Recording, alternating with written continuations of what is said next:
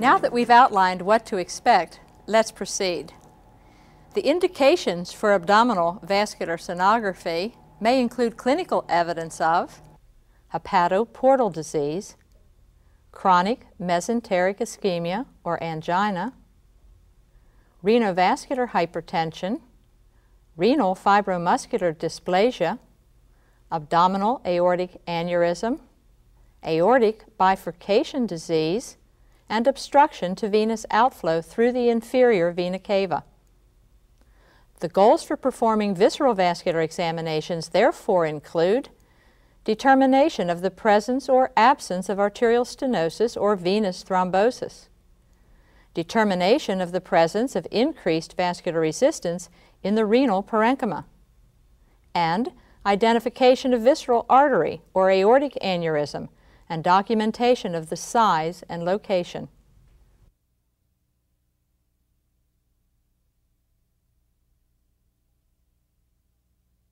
Duplex scanning with color flow imaging is uniquely suited to these tasks.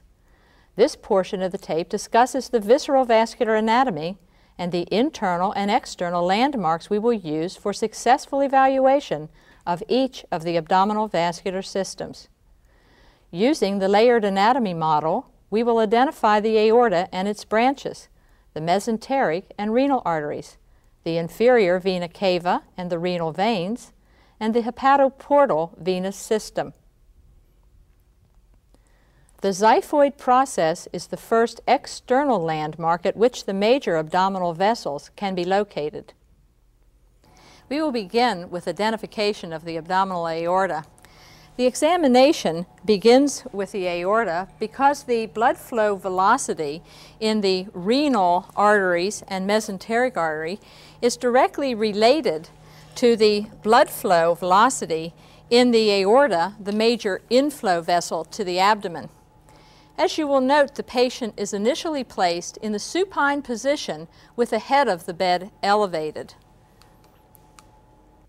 The transducer is placed on the abdomen, slightly left of midline, just beneath the xiphoid process in the longitudinal plane. From this position, we should be able to image the abdominal aorta in long axis.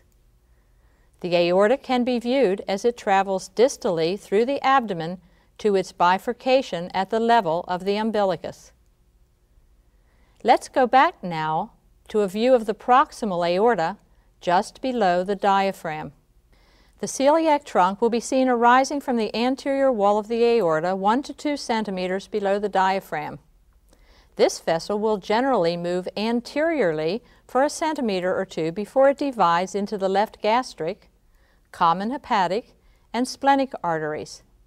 The celiac trunk and its branches will be better viewed from the transverse image of the aorta as we proceed with the examination.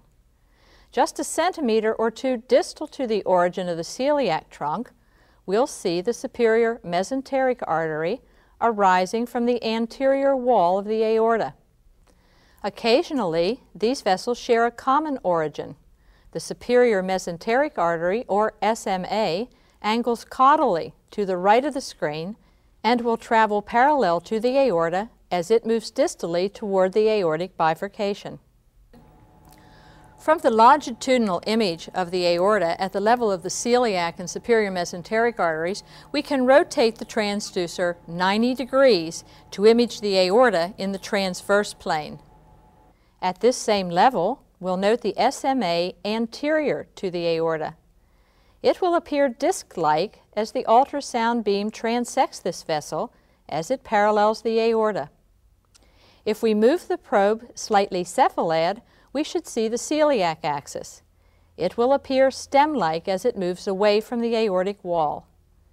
If we continue to angle the beam just a bit cephalad, we'll obtain an image of the common hepatic and splenic arteries as they branch from the celiac trunk. You can see the seagull appearance of the three vessels. The probe can be rotated to oblique positions, moving it slightly to the patient's right to image the common hepatic artery in its longitudinal plane and to the patient's left to obtain a longitudinal view of the splenic artery. Let's return to the transverse view of the aorta at the level of the superior mesenteric artery. Using very light probe pressure, we should see the left renal vein as it crosses anterior to the aorta. This vein will serve as an important landmark for locating the renal arteries. In a small number of patients, the left renal vein will move beneath the aorta as it makes its way to the inferior vena cava on the patient's right side. Once the left renal vein is located, the sound beam should be directed to the right side of the aorta, and the probe should be angled ever so slightly cephalad to image the right renal artery. This vessel will arc anteriorly as it arises from the posterior lateral wall of the aorta, and then course posterolaterally through the abdomen to move posterior to the inferior vena cava and enter the hilum of the right kidney. The renal vein may be in view as we follow the course of the renal artery along its proximal to mid segment. If we return to the transverse image of the aorta at the level of the left renal vein and angle the probe ever so slightly to the left of the aorta, we should image the left renal artery. This vessel will move quickly away from the aorta and course through the posterior lateral abdomen, running alongside the left renal vein to enter the hilum of the left kidney.